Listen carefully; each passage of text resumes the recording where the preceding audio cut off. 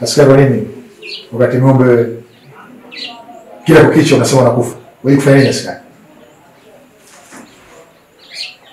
Sasa maelezo yako hayaridhishi.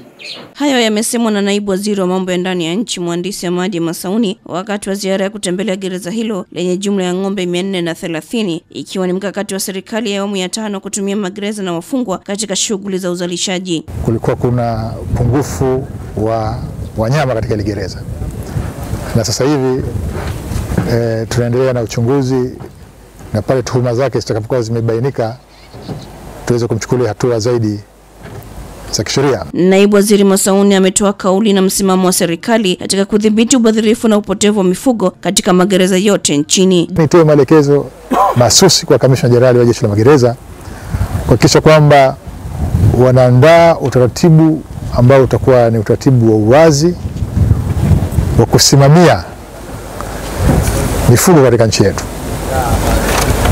na makamanda wote ambao watakuwa wamepewa dhamana ya kusimamia mifugo katika magereza wapimwe kulingana na ufanisi. Juni kumi na tatu mwaka huu, mkuu wa mkoa wa Dodoma Dr. Benilith Mahenge aliwataka askari wa gereza la King'ang'a kuacha tabia ya kuwanyanyasa na kulisha mifugo yao katika mashamba ya wananchi, kwani si busara kufanya hivyo na kumesababisha kuwa na mgogoro wa muda mrefu.